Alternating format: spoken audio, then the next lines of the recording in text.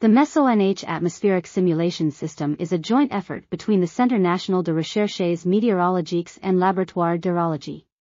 It is designed as a research tool for small and mesoscale atmospheric processes, and is freely accessible to the research community.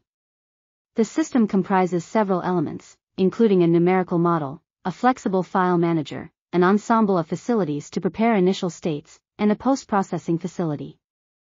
Some distinctive features of this ensemble include the ability to simulate multiple scales of motion using interactive grid nesting, the transport and diffusion of passive scalars, and the use of Fortran 90 compiler. The present paper provides a general description of the adiabatic formulation and some basic validation simulations, as well as a list of available physical parametrizations and initialization methods.